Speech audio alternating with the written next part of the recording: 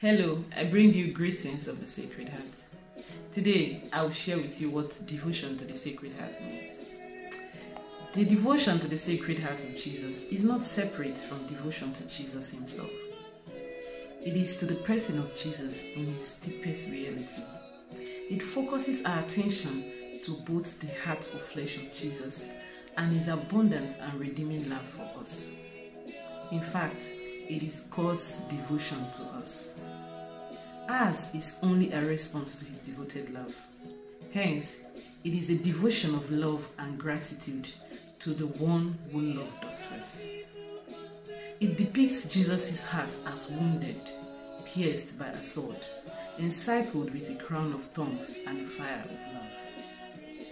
It consists especially in returning love for love. The devotion involves an active effort to know Jesus better as to love and imitate him more perfectly. True devotion to the sacred heart of Jesus also leads us to share the desires and concerns of that heart with others. No wonder Jesus gives us these 12 promises through a revelation to St. Margaret Mary Alacoque. They are as follows. 1. I will give them all the graces necessary in their state of life. 2. I will establish peace in their homes. 3. I will comfort them in all their afflictions. I will be their secure refuge during life and above all in death. 5. I will bestow abundant blessings upon all their undertakings. 6. Sinners will find in my heart the source and infinite ocean of mercy. 7.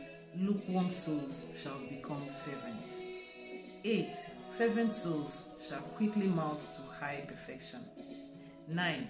I will bless every place in which an image of my heart is exposed and honored. 10. I will give to priests the gift of touching the most hardened hearts. 11.